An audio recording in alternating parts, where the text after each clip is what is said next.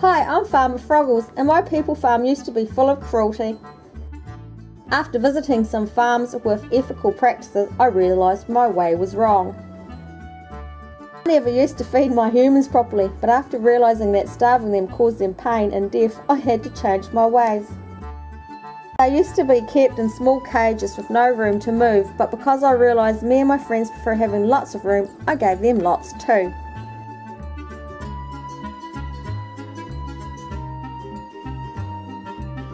I let them go to shelter when they choose so they don't get too cold standing in their paddock.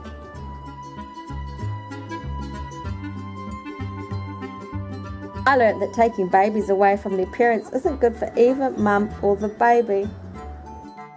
I don't separate them anymore because, like cows are separated from their friends, it causes distress. Because I treat my humans nicer, we all get along now and I know them individually and therefore I am able to tell if something is wrong with them or not so I can get them help.